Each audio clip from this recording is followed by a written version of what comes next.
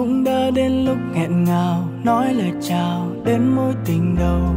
Một cuốn sách ngọt ngào mà đôi ta từng viết. Em như bông hoa mặt trời, có nụ cười, đốt cháy lòng người. Có lẽ em là thanh xuân của tôi.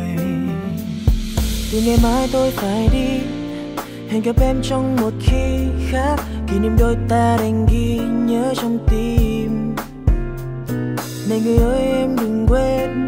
Lần đầu tiên ta bước đến mình đã chìm vào vùng trời yêu thương.